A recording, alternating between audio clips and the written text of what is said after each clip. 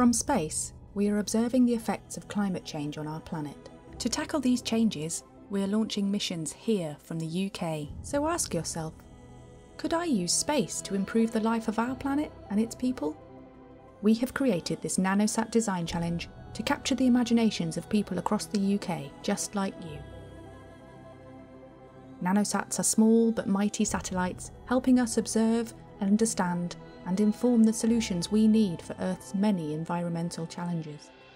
Soon, rockets will be launched from the UK, providing and supporting the growth of an incredible and diverse UK space sector, needing many more people over the next 10 years. People just like you. Many people bring many experiences, and those experiences could make a global impact. Maybe you didn't think a career in space was for you. Well, you may want to think again.